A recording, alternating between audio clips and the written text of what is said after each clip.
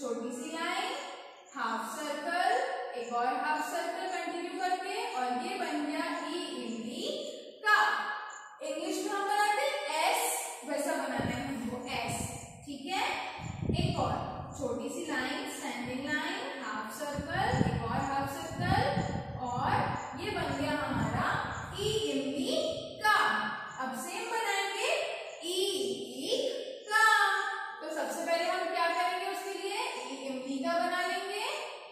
उसके बाद ऊपर से रफा लगा देंगे ठीक है?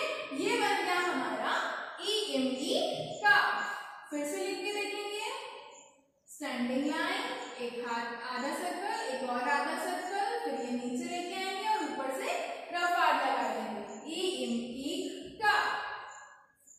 छोटी सी लाइन आधा सर्कल एक और सर्कल हाफ़ सर्कल फिर नीचे लेके जाएँगे और ऊपर से रफा लगा देंगे।